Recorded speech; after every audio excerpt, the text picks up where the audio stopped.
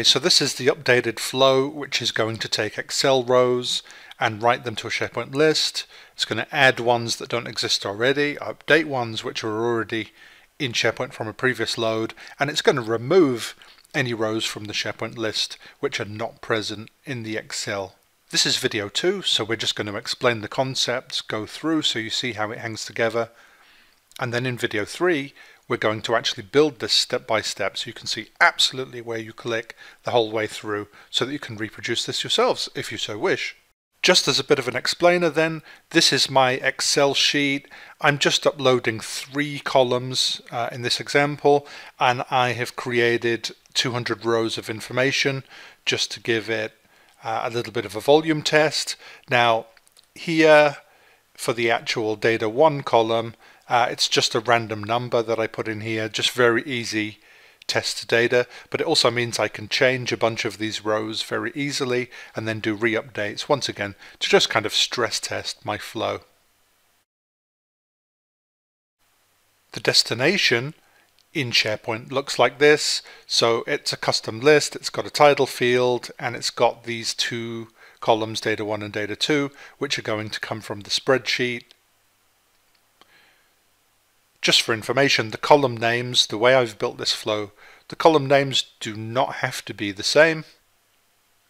If you saw the previous video about add and update, we needed a unique key, which in that case was the title, to be able to do updates. Uh, we're doing a bit of a workaround in this method, so none of these values actually have to be unique.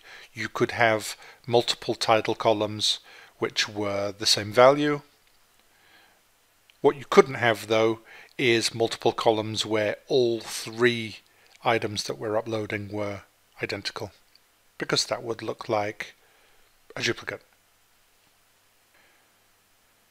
Okay, so how does this work? First off, uh, this is being kicked off with a recurrence, but it needn't be that way, as you know.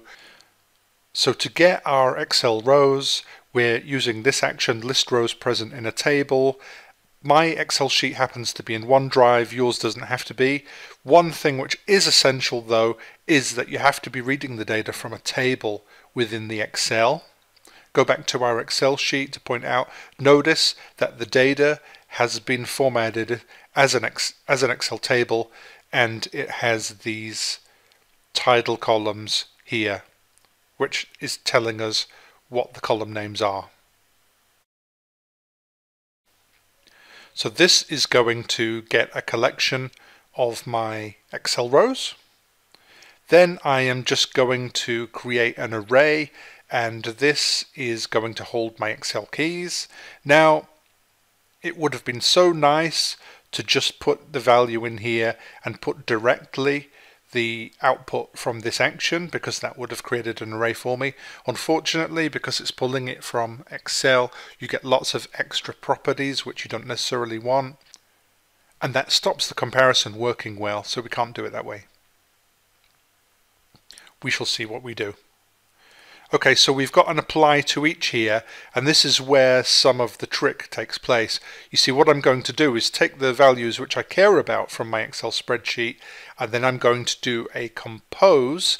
So I'm building something called JSON here, and I'll show you how this is done in the next video. But basically, it's just a particular way to structure some text, and then I'm taking the title, data 1 and data 2 from those Excel results.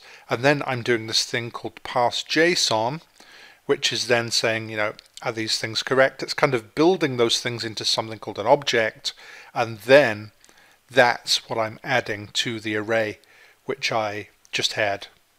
The reason I'm doing it this way is one, the objects are very clean.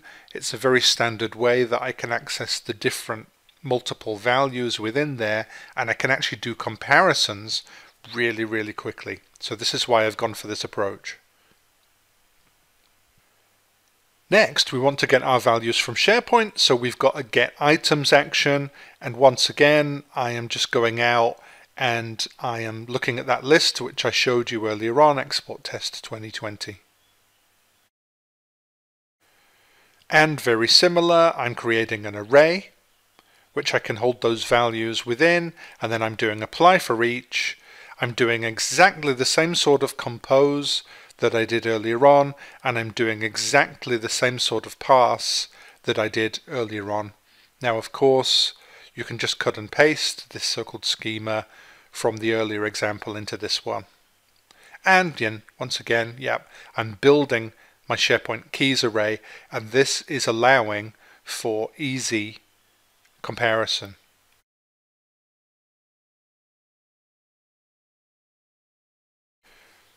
Next, I am doing something called an intersection. So I'm creating an array, and that, let's have a look at the expression, is an intersection of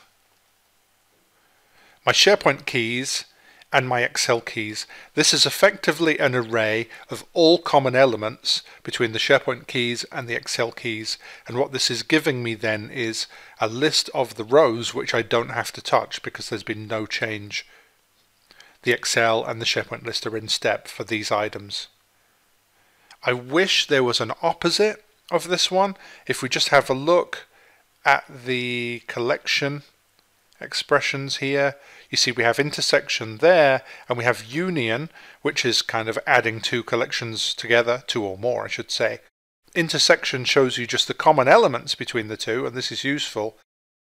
I wish there was something called an injunctive union here which showed you the elements that weren't in common because that would give me a straight list of things which I had to action, but never mind. Now, I have my list of items which I effectively don't care about, so now I have to go back to my SharePoint collection, which I got earlier on in the flow. I'm not querying SharePoint here. SharePoint has already been queried. This is just the results from that. Once again, I'm composing each row of this into some of these objects so that I can do a very nice comparison between the two. Once again, you'll be able to cut and paste this stuff between these different steps. And then I come along to a condition and I'm saying, if the intersection contains this particular object, if it does, then it's unchanged, and that means I don't want to do anything. So there's nothing in the yes condition. If I have not found it there, then that means for SharePoint, this is an update or a delete. And so I'm just coming in and I'm doing a delete on the item from the list. So I'm clearing it out, ready for whatever the new item is.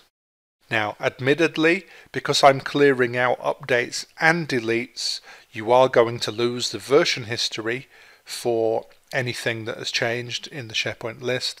But this is a trade-off, absolutely.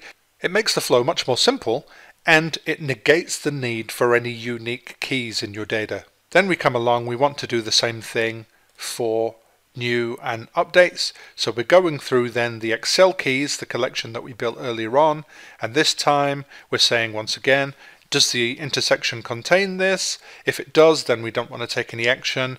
But if it doesn't, it's a new or updated item, and therefore we do a SharePoint create item, and there we plug our data in.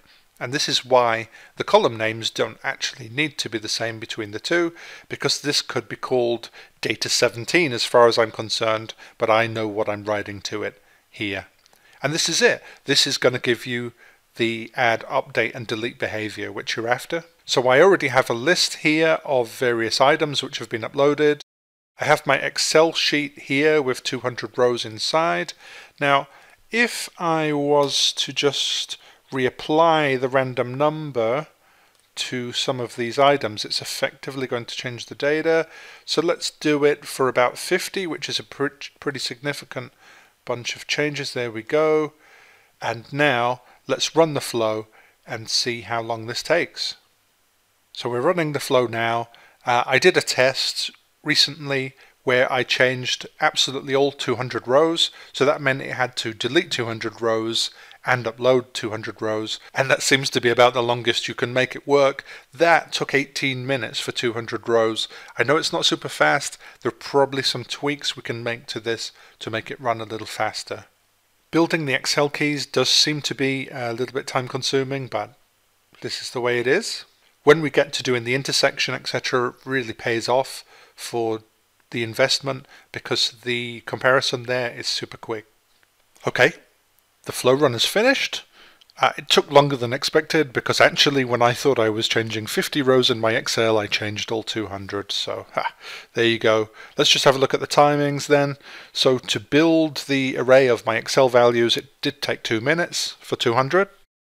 Then to build my keys from the array from SharePoint, it took somewhat longer four minutes. However, my intersection operation was basically instantaneous, which is one of the things that I'm after and then actually doing those comparisons against the intersection were fairly quick and then deleting changed items was two minutes and then adding all those 200 items was five minutes.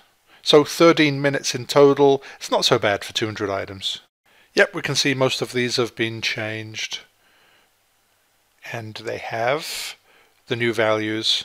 So it's done a lot of adding and updating and it works, which is what we're after. Okay, next video, we're going to look at how we actually build that flow in detail.